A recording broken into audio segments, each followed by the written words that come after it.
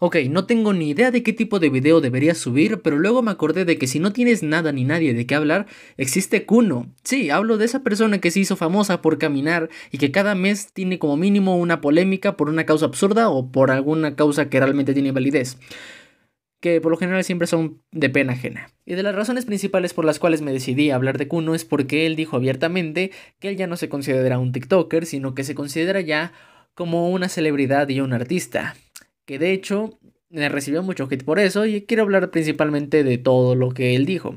De hecho, sé que Kuno ha dicho abiertamente lo que él piensa acerca de que las personas hablen de él, de que le tiren hate y de todo eso, y dice que a final de cuentas le están dando tendencia y eso es lo que les importa a las marcas en Estados Unidos.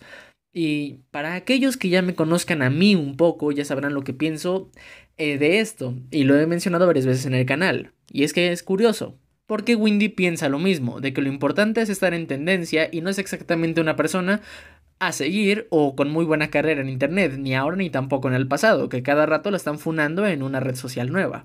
Y Dallas, por otra parte, crea sus propias polémicas sacando cosas que hicieron influencers hace varios años o si no él mismo las crea, ofendiendo y criticando a jugadores de Genshin Impact solamente porque prefieren a un personaje ficticio que a él.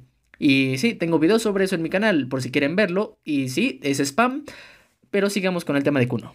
Ser mexicano, ¿pa' qué? ¿Pa' compartir nacionalidad con Kuno? Ok, realmente entiendo cualquier persona que no se sienta orgullosa o orgulloso de ser mexicano. Es decir, ¿quién realmente estaría orgulloso de compartir nacionalidad con Kuno? Es como sentirse orgulloso de vivir cerca de Mema Ponte. Pero lejos de eso, no olvidemos que Kuno al parecer se considera una celebridad y un artista, tan artista que al parecer su música ha llegado a 1.800.000 dislikes. Wow. Yo nunca he visto con ningún otro TikToker, porque hoy en día yo no me considero TikToker, yo la verdad me considero lo que soy, que hoy en día soy una celebridad y un artista. Y la cosa de los TikTokers... Y la verdad es que Kuno no es un artista, o al menos para mí no lo es. Crear música realmente mala, que, se, que estoy seguro que la razón por la que salió esta canción, bueno, estas canciones, es porque algún productor se le acercó y le dijo, oye, ¿quieres hacer más dinero? Y ya. Estoy seguro que él ni él escribió la letra, que ni él hizo nada, solamente lo pusieron ahí frente a la cámara y lo pusieron a cantar y le pusieron un montón de efectos de fondo. Pero a final de cuentas, crear una canción que a la mayoría de las personas que la ven y la escuchan les disgusta, y que más aparte de eso no sabes cantar y solamente estás moviéndote de forma realmente incómoda en el video, eso no es arte, y por una sencilla razón, Kuno ha dejado en claro muchísimas veces que lo que realmente le importa es su fama, que es lo que realmente tiene, porque talento no lo tiene. A él le importa el dinero, estar en boca de las personas y es la representación de la frase el talento hasta el suelo y el ego hasta el cielo. Mucha gente me dice que yo no soy cantante, que yo no soy actor, que yo no soy modelo. Tú no eres crítico de la moda.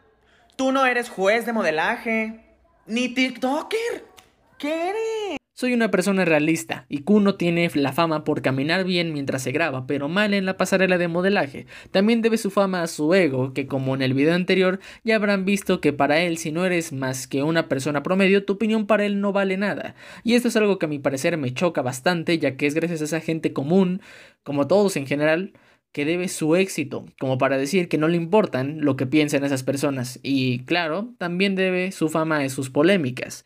Que por cierto, si hay algún tipo, algún chico, alguna chica que le quiera defender diciendo no, él no ve el dinero, claro, no lo ve pidiendo más de 50 dólares por un saludo. Que por cierto, yo en lo personal me parece una burla que a personas como Kuno lo pongan a modelar cuando hay personas que literal se esfuerzan muchísimo para que ni siquiera tengan la oportunidad y que personas que solamente por ser famosas como Kuno tengan ese privilegio. Y eso incluye cuando fue a los Grammy. Hay personas que trabajan toda su vida pensando en que algún día podrían tener una oportunidad de este tipo ¿Y qué pasa? Que llega Kuno a tener la oportunidad solamente por su fama.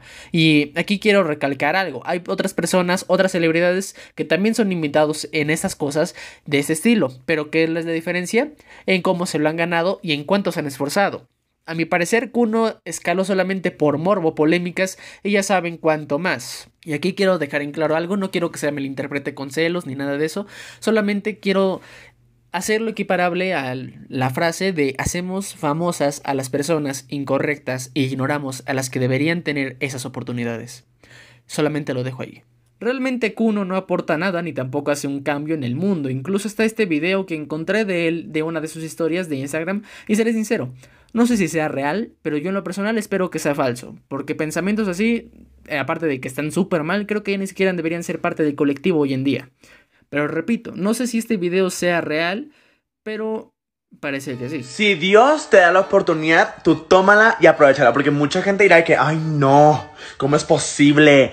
Qué fea vida. Ah, pero cuando llega un señor ofreciéndole un avión privado y a viajes a Dubái Australia y andan bien montadas. Y por último, sí, ya me enteré que al final Kuno sí se arrepintió y sí dijo que es TikToker porque TikTok lo vio crecer y no sé qué más cosas.